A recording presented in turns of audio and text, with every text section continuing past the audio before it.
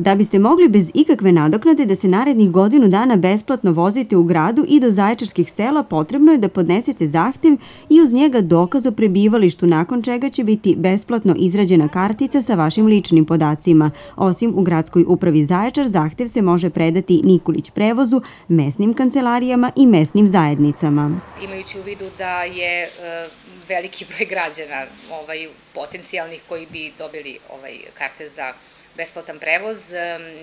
Organizacija svega toga je sprovedena na način da e, će se preko šefova mesnih kancelarija e, i u gradu, a i u selima ovaj, podnositi taj zahtev. Znači, potrebno je da zainteresovano lice ode do šefa mesne kancelarije koji će popuniti tu na licu mesta zahtev, taj zahtev se dostavlja gradskoj upravi, izrađuju se kartice, kartice će se dostavljati takođe preko šefova mesnih kancelarija za sela, ili na uh, šalteru gradske uprave u gradu. Gužve na autobuskom stajalištu svedoče o tome da građani redovno koriste ovaj vid prevoza. Idem iz Halovo. Pa bilo bi za starije da ne plati, za svi ljudi nemaju pare.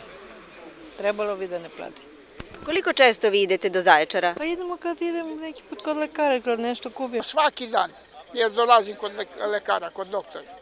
Kad sam radio nisam koristio lekarski preglede doktore, a sada koristim ga često. Pa ja idem u selo Gradskovo kod svoje majke i mislim da je to realno, pošto svako i putuje non stop. I još što sad ima najnovije u selu, nema, prodavnice su sve zatvorene i tako da ljudima odgovara da idu da si kupe šta im treba i imaju besplatan prevoz. Mislim da je super.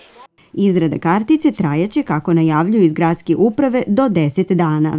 Za e, decu e, e, i za đake mogu da podnesu ovaj, roditelji zahtev, i za lica koja su pod starateljstvom takođe ovaj zahtev podnose staratelji.